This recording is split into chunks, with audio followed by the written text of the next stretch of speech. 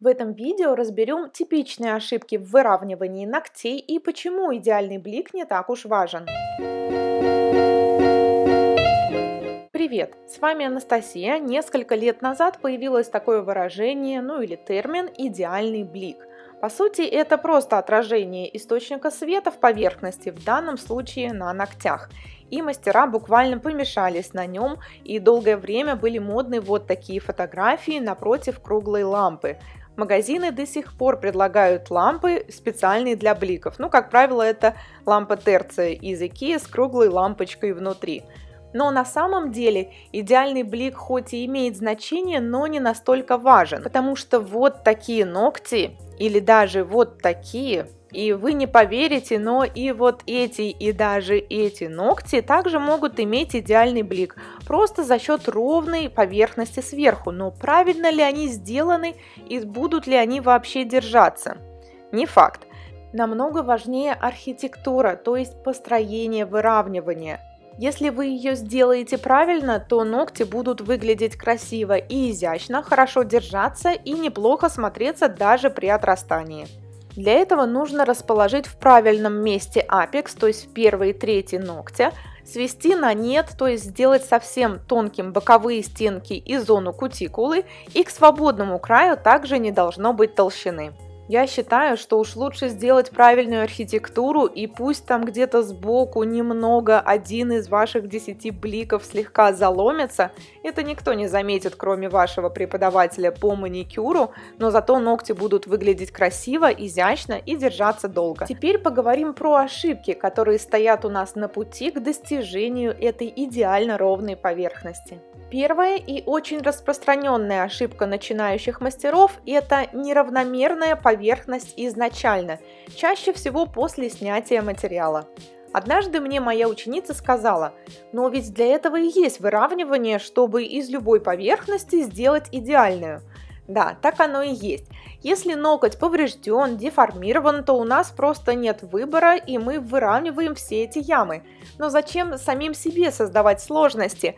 И потом может случиться так, что из-за неровной поверхности вы просто не сможете сделать тонкий, изящный, свободный край.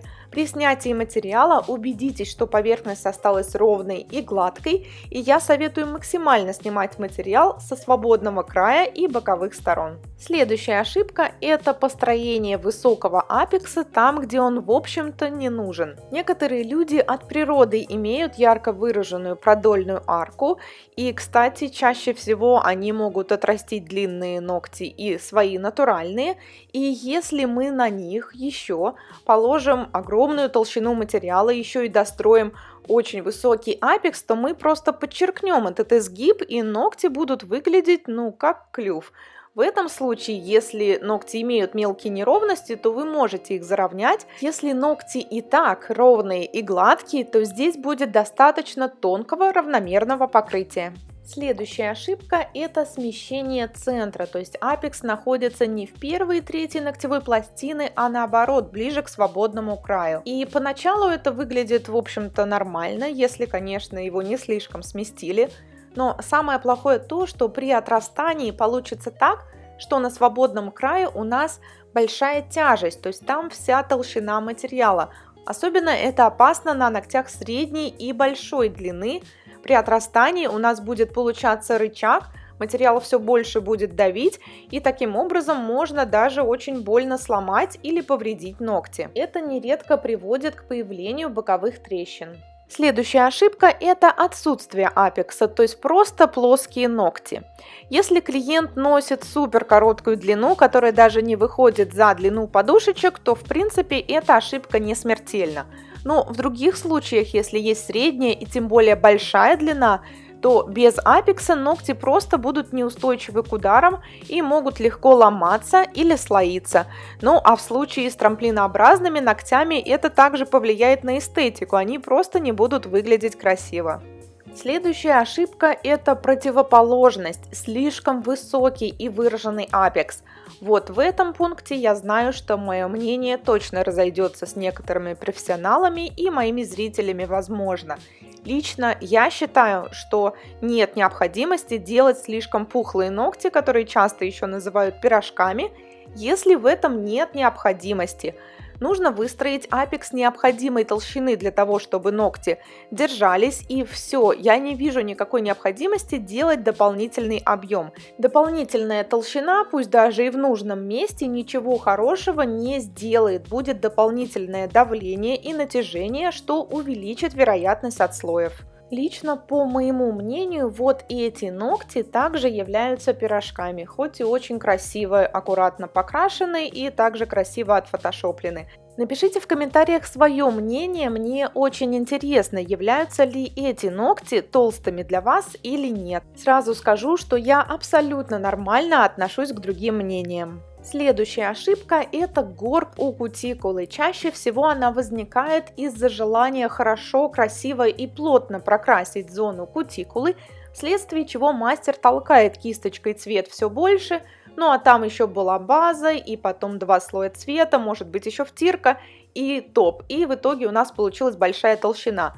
Причем сразу это заметно не всегда, но вот когда ногти отрастают, получается вот такая некрасивая ступенька – Обязательно сводите материал на нет кутикуле и сделайте так, чтобы вот этот подъем к апексу начинался максимально плавно и не сразу у кутикулы, а чуть-чуть отступив. Последняя, но тоже очень частая ошибка – это наплывы по бокам.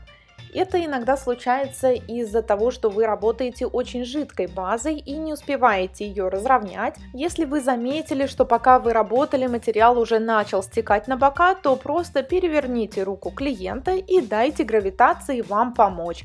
Если все равно не получается, то может быть имеет смысл переключиться на более густую базу. Если вы все сделали хорошо, поверхность была идеальная, положили в руку в лампу, а по возвращении материал снова на боках, то это говорит либо о том, что ваша лампа недостаточно мощная, не подходит к вашему материалу, либо клиент недостаточно глубоко кладет руку в лампу. Такое часто бывает на больших пальцах. Вот, пожалуй, и все. Мы с вами разобрали самые популярные ошибки. Напишите в комментариях, с какими из них вы сталкивались хотя бы раз в жизни. Я, пожалуй, со всеми, именно поэтому я их все знаю.